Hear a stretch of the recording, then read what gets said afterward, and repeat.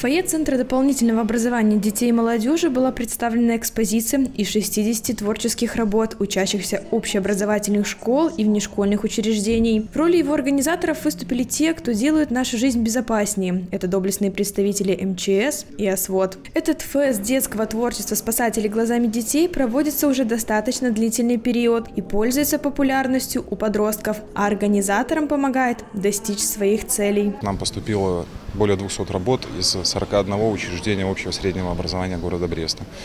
Э, работы выполнялись в 9 номинациях в разных возрастных категориях.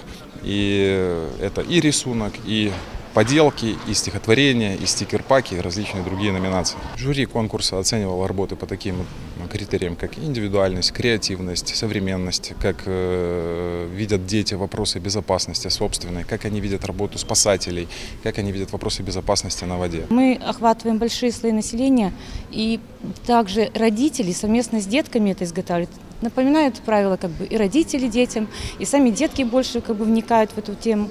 Конечно, э, в первую очередь хотелось бы чтобы ребята не только э, в интернете, да, много интересных тоже платформ, но еще вживую, вот э, готовясь к таким работам, они общаются, они в школах на эту тему все вместе рисуют рисунки, здорово делают разные подделки, и это тоже, когда обсуждается в коллективе, это большой плюс вот именно в этой сфере. Тематика работ самая разнообразная. Самое главное, что ребята, участвующие в смотре конкурсе и те, кто посетил выставку, будут делать все, чтобы сделать свою свою жизнь и жизнь окружающих безопасной. Все работы, представленные на конкурсе, выполнены на достаточно высоком уровне. А главное, с каждым годом школьники-активисты, члены кружков все активнее участвуют в такого рода мероприятии и показывают высокие результаты. Детки с удовольствием участвуют ежегодно в этом конкурсе и не первый раз уже являются победителями э, этого конкурса. Вот.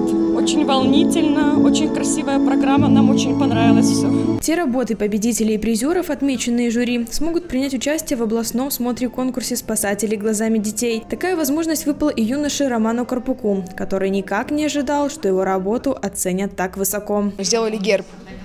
Вот, и мы его делали, мне, ну я не сам его делал, мне помогала учительница моя, и вот, получилось так, что мы заняли первое место. На областном этапе конкурса я планирую занять первое место. Анастасия Мелешкевич, Андрей Щерба, Юрий Лимонтович, телекомпания Бук ТВ.